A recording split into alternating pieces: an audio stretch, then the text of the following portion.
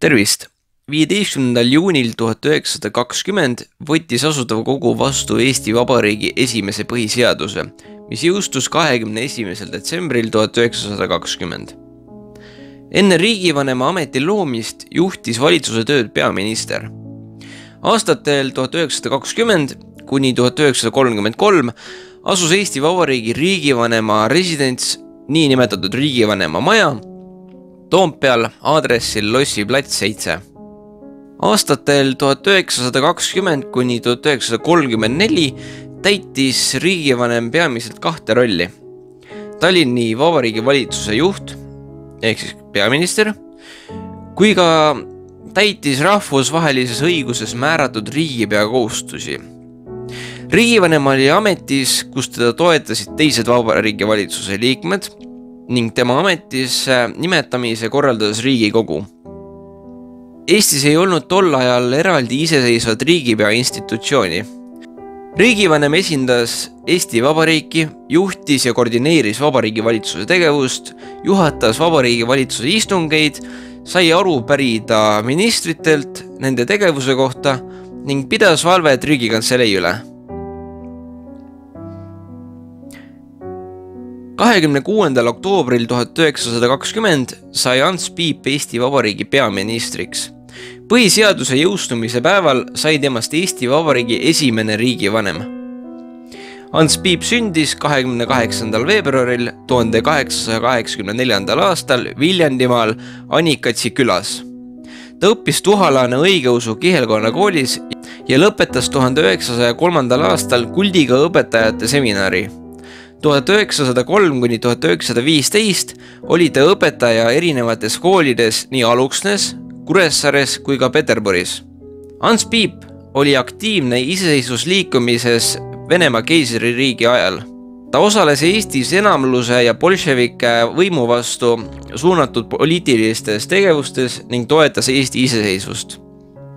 ta lõpetas eksternina Kuressaares gümnaasiumi tuhat üheksasada kaheksa kuni tuhat üheksasada kolmteist õppis ta Peterburi ülikooli õigusteaduskonnas ning täiendas end tuhat üheksasada kaksteist Berliini ülikoolis.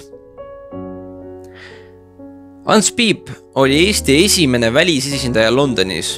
Juba tuhande üheksasaja kaheksateistkümnenda aasta aprillis sõitis Londonisse Eesti välisdelegatsiooni liige Ants Piip kes kohtus Suurbritannia kõrgete võimuesindajatega ja esitas novembris Suurbritannia valitsusele ametliku palvekirja maa- ja merevägede relvastuse ja toiduainete saatmiseks Eestisse. ilma Suurbritannia abita oleks Vabadussõda lõppenud Nõukogude Venemaa võiduga. Ta osales ka Pariisi rahukonverentsil, kus lepiti kokku rahulepingu tingimustes. Ants Piip oli ka tuhat üheksasada üheksateist kuni tuhat üheksasada kakskümmend Eesti delegatsiooni liige Tartu rahuläbirääkimistel. kahekümne seitsmendast kahekümne üheksanda novembrini tuhat üheksasada kakskümmend toimusid esimese Riigikogu valimised ja kahekümnendal detsembril tuhat üheksasada kakskümmend lõpetas Asutav Kogu tegevuse. Ants Piip kuulus Eesti Tööerakonda, mis moodustati tuhande üheksasaja seitsmeteistkümnendal aastal. Ta oli oma valitsuses ka sõjaminister ja välisministri kohusetäitja alates neljandast jaanuarist tuhat üheksasada kakskümmend üks. tema valitsusse kuulusid välis- ja kohtuminister Otto Strandman, kes oli selles ametis kuni neljanda jaanuarini tuhat üheksasada kakskümmend üks, töö, hoolekande ja siseminister Louis Olesk, kaubandus, tööstus ja teedeminister Juhan Kukk, rahaminister Karl August Paars kellest sai ka kohtuministri kohusetäitja neljandast jaanuarist tuhat üheksasada kakskümmend üks, haridusminister Jüri Annusson, põllutööminister Theodor Pool ning toitlusminister Peet Johanson.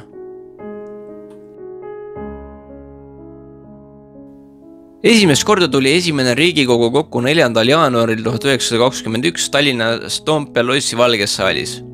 Riigikogu oli sajaliikmeline ning ühekojaline riigikogu esimeheks valiti Otto Strandman. Ants Piibu valitsus oli ametis kahekümne viienda jaanuarini tuhat üheksasada kakskümmend üks. tegu oli viimase Asutav Kogu valitsusega. Ants Piibu järel astus ametisse Konstantin Pätsi esimene valitsus. Ants Piip oli selles valitsuses välisminister kahekümnenda oktoobrini tuhat üheksasada kakskümmend kaks Ants Piip oli neljakordne välisminister, hiljem Jaan Teemanti esimeses ja Jaan Tõnissoni neljandas valitsuses. viimast korda oli ta välisministri ametis kaheteistkümnendast oktoobrist tuhat üheksasada kolmkümmend üheksa kahekümne esimese juunini tuhat üheksasada nelikümmend, kui toimus juunipööre. tuhat üheksasada kakskümmend kolm kuni tuhat üheksasada nelikümmend töötas ta ka vandeadvokaadina. lisaks oli ta ka professor Tartu Ülikoolis. Ants Piip oli tuhat üheksasada kolmkümmend kuni tuhat üheksasada nelikümmend Tartu linnavolikogu liige ning tuhat üheksasada kolmkümmend viis kuni tuhat üheksasada kolmkümmend kaheksa selle juhataja. ta kuulus ka Eesti Vabariigi delegatsiooni kahekümne kaheksandal septembril tuhat üheksasada kolmkümmend üheksa sõlmitud vastastikuse abistamise lepingu ehk baaside lepingu läbirääkimistel kolmekümnendal juunil tuhat üheksasada nelikümmend üks vangistati Ants Piip NKVD poolt ning ta suri esimesel oktoobril tuhat üheksasada nelikümmend kaks Nairobi vanglas. tema perekond põgenes läände tuhat üheksasada kakskümmend omistati Ants Piibule Vabadusristi kolmanda liigi esimene järk. tuhande üheksasaja kolmekümne teisel aastal Eesti Punase Risti teise klassi teenetemärk. Tuhande üheksasaja kolmekümne neljandal aastal Kotkaristi esimese klassi teenetemärk ning tuhande üheksasaja neljakümnendal aastal Valge Tähe esimese klassi teenetemärk. tuhande üheksasaja kolmekümne üheksandal aastal sai temast Tuhalane valla aukodanik lisaks oma diplomaatilisele tööle oli Ants Piip ka kultuuri- ja haridusvaldkonnas aktiivne. ta oli kirjamees ja avaldanud artikleid, mis käsitlesid Eesti kultuuri ja ajalugu. Kokkuvõtteks võib öelda, et Ants Piip oli mitmekülgne ja oluline isiksus Eesti ajaloos, kellel oli märkimisväärne roll nii poliitikas, diplomaatias kui ka kultuuris. tema tegevus aitas kaasa Eesti riigi loomisele ja rahvusvahelisele tunnustusele ning tema pärand elab edasi Eesti ajaloos ja kultuuris.